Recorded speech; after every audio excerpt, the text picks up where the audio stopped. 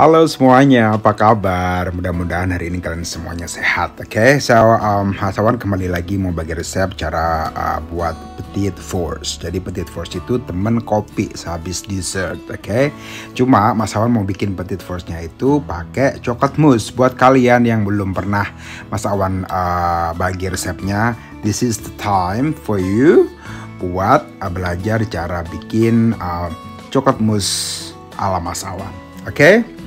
So di sini saya ada krim ya. Jadi ada dua krim, krim A sama krim B. Ini krim A, yang krim B-nya itu di pot tadi itu ada milk chocolate, ada uh, gelatin dan sini ada egg yolk sama gula pasir.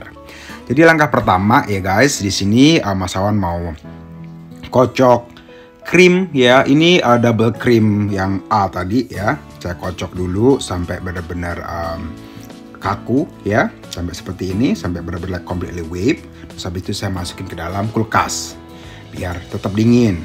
Dan langkah yang kedua krim B saya rebus ya. Biarin sampai mendidih dan di sini saya kocok kuning telur sama gulanya tadi. Kocok sampai warnanya pale. Kalau udah uh, krimnya mendidih saya tuangkan krimnya ke dalam uh, egg yolk sama gulanya tadi. Terus saya Tuang balik ke dalam pot ya atau panci dan saya masak lagi sampai reach 80 derajat Celcius. Oke, jadi 80 derajat Celcius itu nggak terlalu kental dan juga nggak terlalu um, curdle gitu.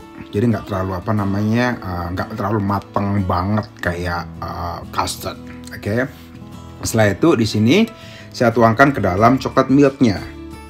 Ya, terus Gelatinnya tadi saya udah uh, rendam pakai air, habis itu saya peres, saya masukin ke situ juga, oke. Okay. Habis itu baru saya campur pakai spatula.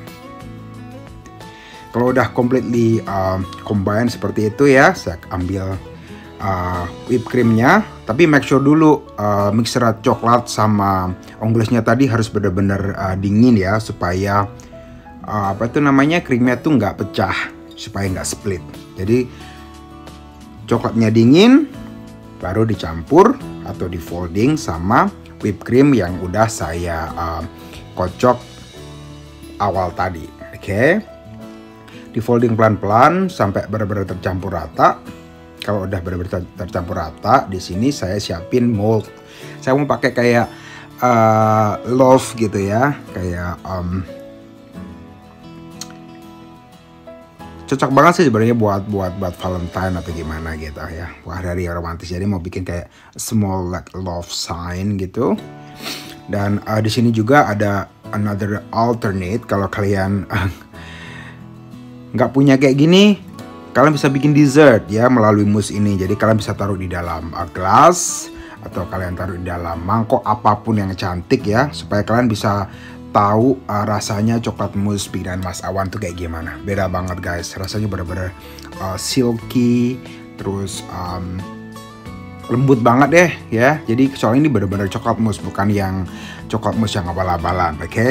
setelah itu kayak uh, 5 jam kemudian ya, 5 jam kemudian saya keluarin dari moldnya ya. Habis itu baru saya dipin sama glaze. Uh, itu uh, susu kental manis glaze ya resepnya ada di video sebelumnya. Dan situ saya balurin kayak um, apa namanya itu uh, kelapa parut ya yang udah kering banget. Dan ini hasilnya. Itu saya pakai tusuk gigi. Anyway yang lubang-lubang di atasnya saya tutup sama gold leaf. Dan jadinya seperti ini ya guys ya. Jadi mudah-mudahan resep ini bermanfaat. And I'll see you next time